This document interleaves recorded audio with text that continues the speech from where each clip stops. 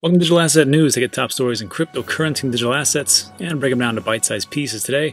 A lot of stuff to go over, so let's break right in. So, first up, three reasons why MicroStrategy adopted Bitcoin and why others will too. This is a pretty good story, especially about institutions breaking in and why all the big corporations and entities are FOMOing into Bitcoin also. Unstoppable Domains is giving away the domain of hodl.crypto plus $7,000 in Ethereum and DAI and I'm going to show you how to enter. There's actually a lot more to the story, uh, which goes back to the Coinbase wallet all the way back in 2018 and how I was actually blown away by the forward thinking of Coinbase. Even though they're forward thinking, they can also be a little petty, and this is a story which talks about Coinbase exits trade group following entry of rival Binance.us. This is the chisme for the day. And lastly, we'll go over a question of the day, which is brought to us by Yong. So let's break in. So first up, let's take a look at what's going on with the market. So today it is August 13th. It's around 3 p.m. Texas time, and uh, everything's staying pretty stable. Uh, Bitcoin almost 11.7, uh, pretty much what it was yesterday, 1.4%.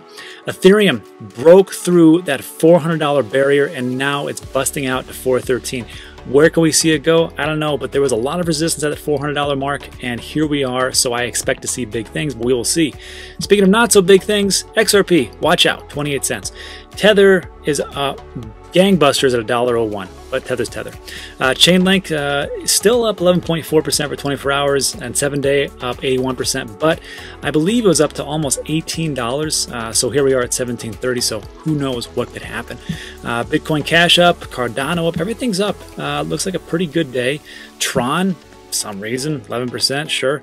And then uh, VeChain, everything else, pretty much in the two, oh, 8% for Maker. And uh, Compound, ouchie, down for 10%, but still up 46%. So a lot of good things happening around. Let's see if we can keep this momentum, but let's break in today's top story. So first up, three reasons why MicroStrategy adopted Bitcoin and why others will too. And I got to tell you, um, it wasn't just about that MicroStrategy did this, how they bought you know thousands of Bitcoin and they're going to owe 0.1% of all Bitcoin ever produced, uh, but it's what the CEO said and his conviction to it. So let's uh, jump right in. What's going on here? So MicroStrategy has adopted Bitcoin as its reserve currency and stunned commentators by purchasing over 21,000 Bitcoin on August 11th. That's a pretty good amount.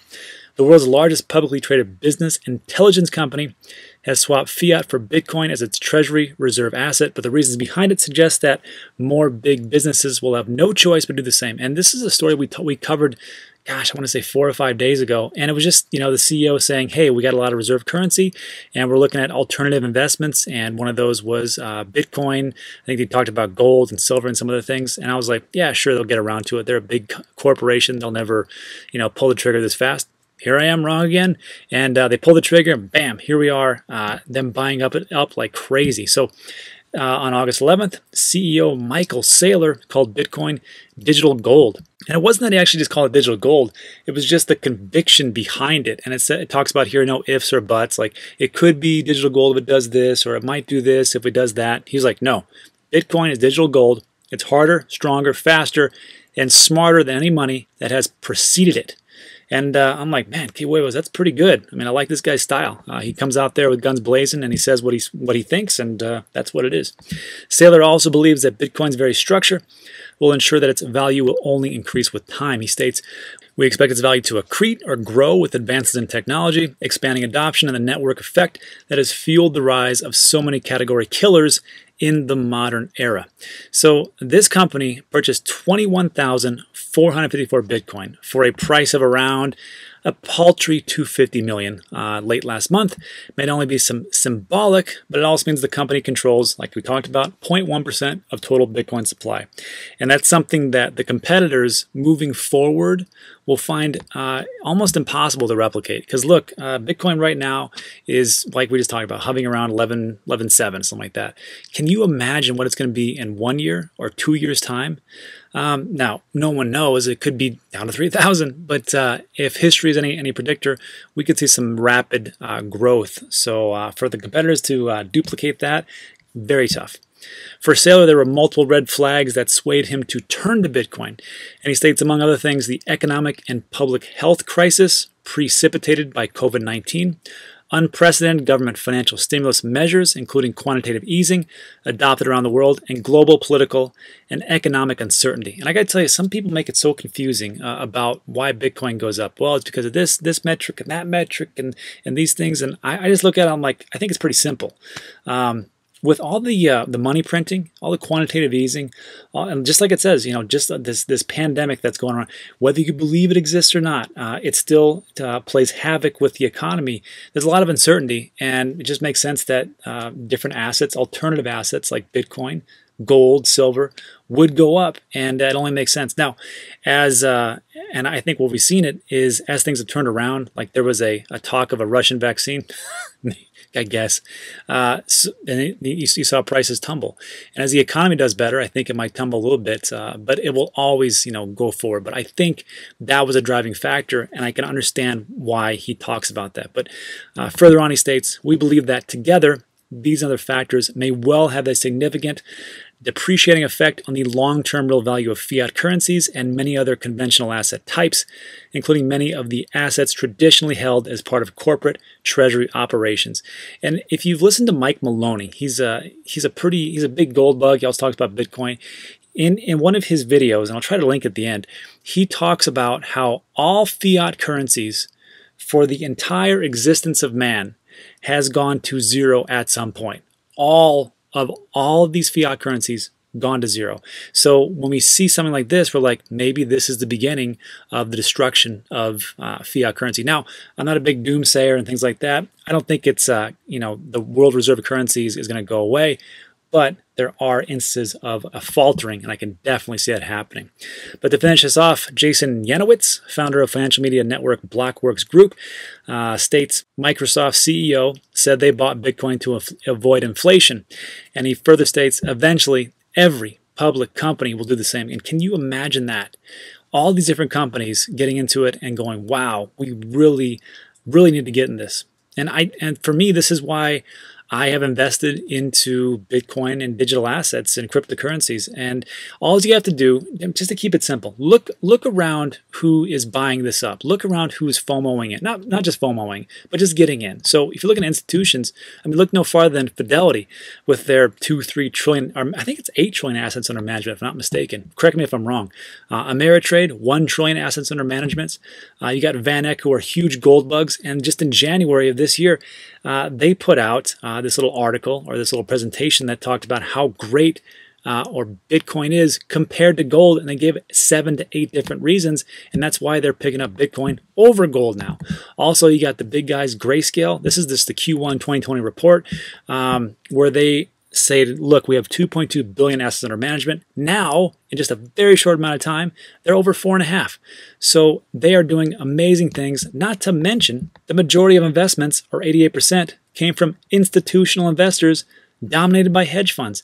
And then you have somebody like uh, Paul Tudor Jones, who just recently, uh, which which they have 21 billion assets under management, just a little bit, not too much.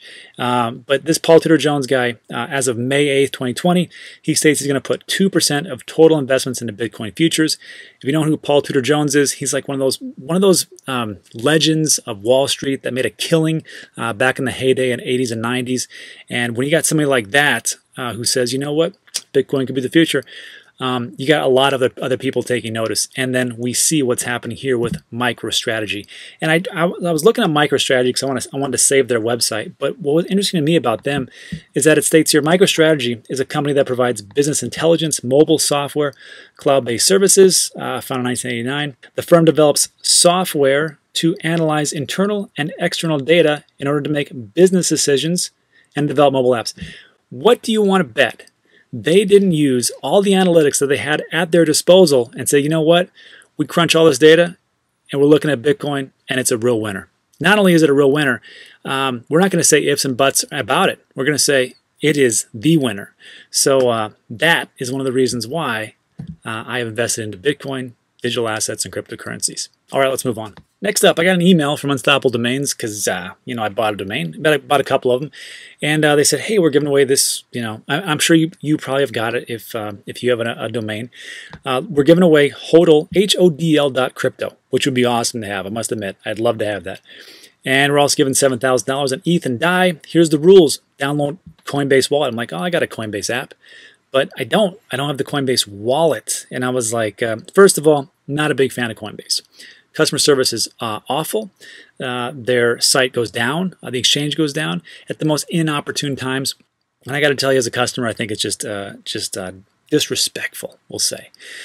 I will say that I will use them uh, if, you know, for off ramps, because you don't remember in 2017, there are different things with exchanges going down. I think some, some exchanges went down yesterday. Uh, was it Bitfinex? Correct me if I'm wrong. I thought it was Bitfinex. But uh, anyhow, going back to this, when, when I saw this, I was like, okay, well, you know, I'll play the game, see what, what, what this is all about. So I took a look at the actual website. I said, is this real? I want to make sure that it wasn't just some scam email. I went to unstoppabledomains.com forward slash contest. And yeah, uh, first place, hodl.crypto, you get 3,000 ETH. Second place, 1,000 DAI. Third place, 1,000 DAI. Okay. So then, and then I'm like, well, how can I, why can't I click on this enter contest? So what you have to do is you have to download the Coinbase uh, wallet. So let's just jump in my phone real quick. All right, so here's my lovely wife. My Apple App Store. I'm going to search, search for Coinbase. And there it is, Coinbase. So, of course, Crypto.com comes up first. What are you going to do? Coinbase, uh, uh, so that's just the, um, the cryptocurrency uh, exchange. But then there's Coinbase Wallet and Coinbase Pro. And I thought it was interesting because on the Coinbase Wallet, when I click on it, well, first of all, on the coin on the Coinbase buy and sell, you'll notice that um, underneath here it says the developer is Coinbase Inc. Now, if you go to Coinbase Pro, and you scroll down, developer is Coinbase Inc. But when you go to Coinbase Wallet and you scroll down, you're like, Toshi, what the heck is this? So I had to take a look real quick at what is Toshi, and I had to do a little research, which I did check it out, and we'll do that in a bit after this. But uh, uh, what I'm going to do right now is I'm going to click on Get, download this guy. All right, now I'm going to click on Open, open the sucker up, pick your username. I'll pick digital asset. News, why not? And next, Public, other wallet users can search my username. Sure, why not? I could do private, but uh, I just don't care. I'm not going to keep anything in this. And protect your wallet, set up a passcode. Sure, why not? And of course, here we go with the backup wallet. I understand. And I'm going to click on back it up now. Okay, that's interesting. I can back up to iCloud or back up manually. I think I'll do backup manually. I'm going to put this in my Stone book. Okay, awesome. I got that all done. And if you notice that uh, on, on, my browser when I went there, it was all grayed out for the enter contest. So what you got to do is click that middle um, tab right there. Looks like four squares. And then you can start to browse the internet uh, in a DApp, I guess. And then, so what you're going to do is you're going to go to unstoppable domains.com forward slash contest and click on return. And now, underneath there, that enter contest is actually highlighted so you can click on that. So let's do that. Signature request. Signatures can be used to prove you own this, you own this wallet to allow asset transfers. Yes. Or for other purposes. Only sign message from Dapsy Trust. That's me. Sign. We use our passcode. And boom, entry has been submitted. So just like that, very interesting how they're doing that. They're integrating everything. So Again, uh, not a big fan of Coinbase and all those things, uh, but uh, it is what it is. So if you want to win those, I mean, that's the way. And I will say this, as I was talking about in the beginning, uh, there was this article, because I was doing a lot of research about it, because I was like, well, first of all, what is Toshi uh, as opposed to the Coinbase Inc. as far as the developers? So I was like, maybe this is the way that I'm, you know, I'm getting scammed. So what I looked at was the Coinbase blog, and I go all the way back to August 15th, 2018. quite a quite a while ago. And talks about, and this is right from the blog.coinbase.com. It says, Goodbye, Toshi. Uh, hello, Coinbase Wallet, easy, most secure crypto. I had no idea this was even out. Uh, I only use Coinbase and Coinbase Pro. I have no need for the wallet. I do not use it whatsoever. But I thought this was interesting. And they said, Today we're proud to announce that Toshi is becoming Coinbase Wallet. This is not just a new name, but part of a larger effort to invest in products that will define the future of decentralized web and make the future accessible to anyone. So right there, I'm like, that's pretty forward thinking. This is two years ago, and here they are going, oh, this is what's going to happen. At Coinbase, we believe the applications of the future will be built on decentralized internet. Uh, everyone will own a crypto wallet that allows them to access decentralized apps or dApps, and that the wallet will be their gateway to the open financial system. Toshi was developed by the Coinbase team over a year ago. So in 2017, they actually developed this. When the product launched, it featured the world's first mobile dApp browser. And that's what you need to actually uh, use the .crypto uh, domains. Uh, there's different ones like um, I think Opera has the uh, ability that. I think Firefox just has it uh, as well, but I know Chrome and uh, Brave don't have it right now, so you can't really browse in the way it should be done. But I guess with this, they, they found this, they did this all the way back then. It says later we became the first wallet to launch crypto collectibles. Goal was to make managing crypto accessible, the decentralized web. Uh, with Coinbase Wallet, your private keys are secured using your device's secure enclave and biometric authentication tech. Uh, what can you do?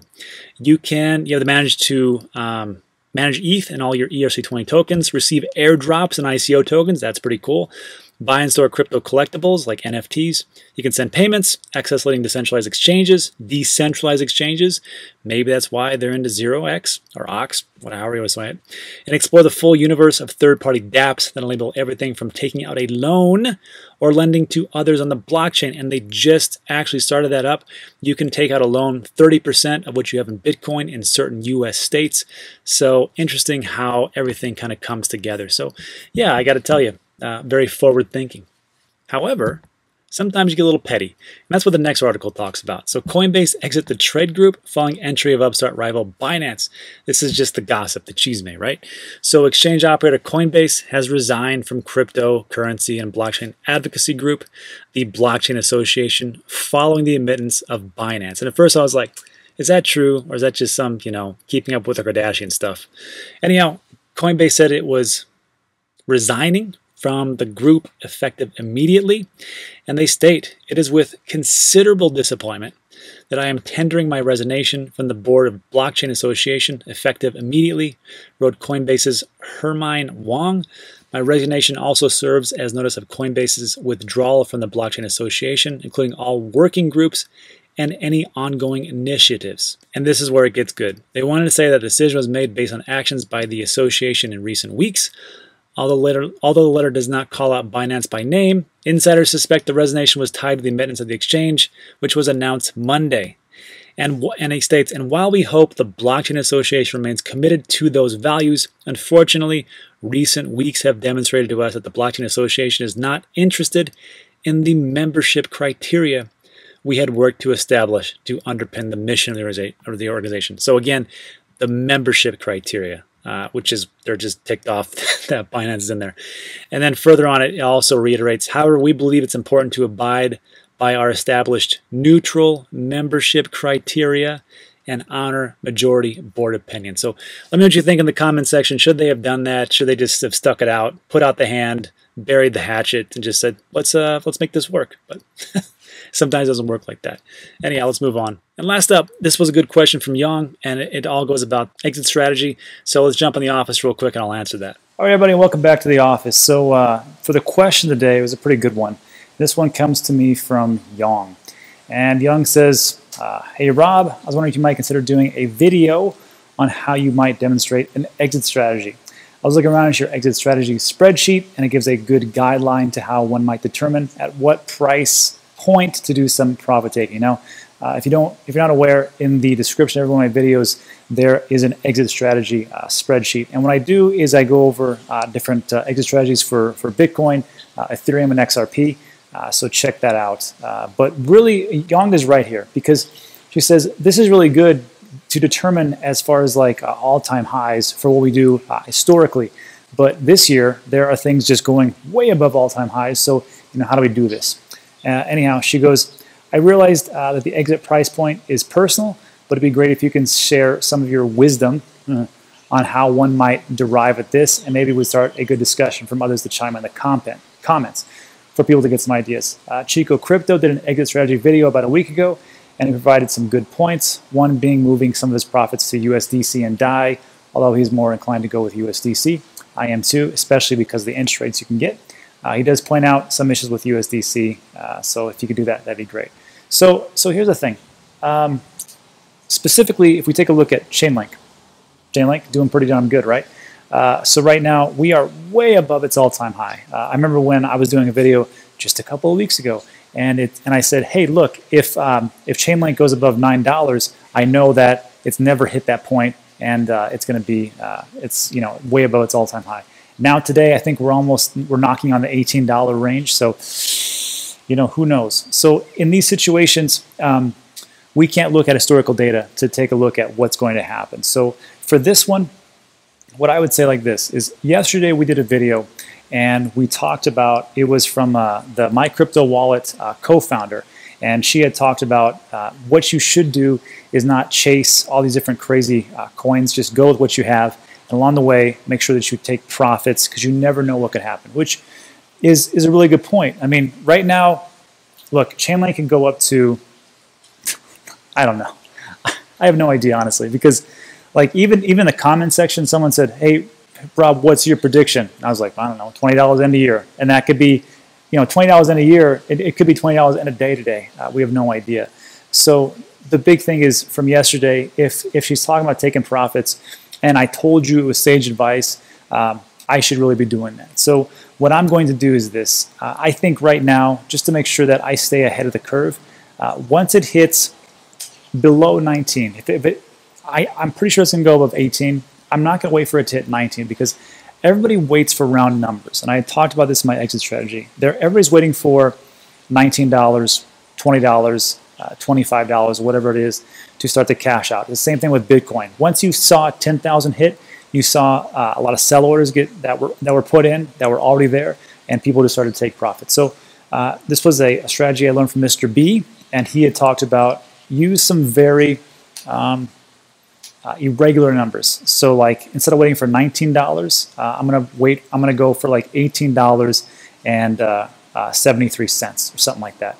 Or uh, before I hit 20, I'm gonna go for $19 and 52 cents or, or whatever it is, but something kind of like irregular. So I think for the Chainlink, again, I don't know where I can go, but to take a little bit of profits for right now, I'm going to start off with 10% just to see how it goes. That's a very uh, conservative number. I think I should be okay. And uh, some somebody had made a made mention of well, why cash out into dollars? Because you know the dollar bill is just going to get gonna, it's just going to get weaker. It, it's already weakened uh, globally. I don't think it's going to ever stop being the reserve currency for quite some time. But um, I thought, okay, that's a pretty good idea. So so why cash out in dollars right now?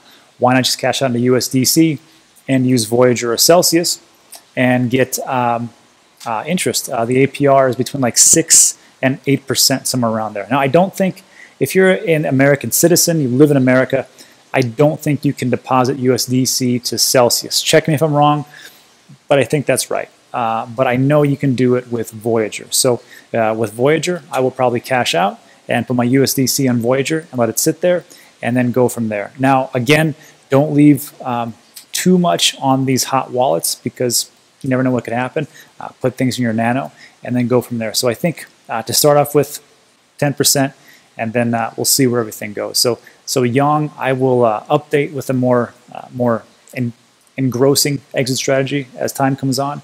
But uh, that's what I have for today. All right, let's jump back. All right, that's it. So I want to say thanks for sticking with me through everything. I really appreciate it. Um, I also want to do uh, quick random shout outs. If you don't know, there's a join now tab underneath. Uh, you, if you join, you don't get anything special. It's just like a tip. It's like a buck 99.